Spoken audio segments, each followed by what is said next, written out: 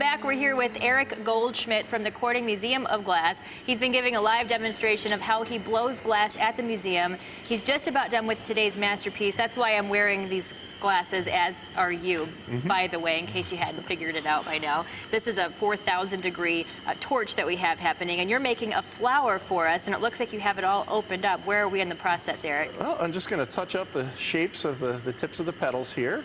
And then it's just really a matter of adding a couple of, of the leaves that I've pre-shaped on the bench here. I use this textured tool here just to squeeze some green glass, gives us a, a nice leaf texture. And uh, we'll be just about finished. Okay, we have about 30 seconds left in our segment. All so right. I know that uh, if you're interested in seeing this up close, maybe you want to learn how to do it, you can do that at the Corning Museum of Glass, correct? That is correct. We have a make your own glass workshop. So uh, in busier times of the season, we certainly suggest that people go on our website, cmog.org, and make reservations if they do want to make some glass themselves.